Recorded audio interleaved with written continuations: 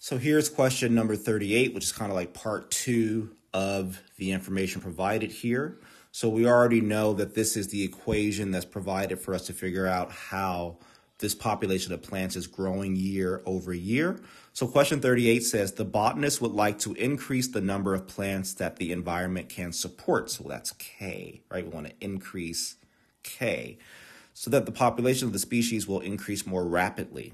If the botanist's goal is that the number of plants will increase from 3,000 this year to 3,360 next year. Okay, so that means in, we want in next year to equal 3,360, where in this year we know is equal to 3,000. Okay, how many plants must a modified environment support? So basically, we're saying what is K under those conditions. So I'm going to just go back to this equation, fill everything in except for K, and then solve for K.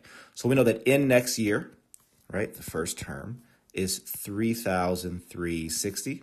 So equals in this year, so equals 3,000 plus 0.2 times in this year, which is 3,000. And then we have 1 minus n this year, which is 3,000, all over k, which is what we're trying to find. So when I simplify this, I have 3360 equals 3000 because I multiply before divide or before adding 0.2 times 3000. Well, that's going to be 600. So plus 600 parentheses 1 minus 3000 over k. And now I need to distribute this 600 across. So I'd have three, in fact, I could subtract 3,000 from both sides first if I want. That's perfectly fine. So I'd have 360 is equal to 600. In fact, I'm not going to distribute. That's a, this is a much better idea. 1 minus 3,000 over k. I am going to divide both sides by 600. So then 360 divided by 600 just use my calculator, 360 divided by 600 is 0.6. So 0.6 equals 1 minus 3,000 over k. And now I can subtract 1 from both sides. So I end up with, let's just go here so I have more space. 0.6 minus 1 is negative 0.4.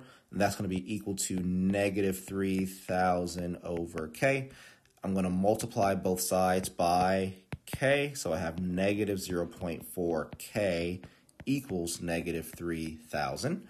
And then lastly, I'm going to divide both sides by negative 0.4. So I go to my calculator and 3,000 or negative 3,000 divided by negative 0.4 is equal to, so k would be equal to 7,500. And that would be the final answer.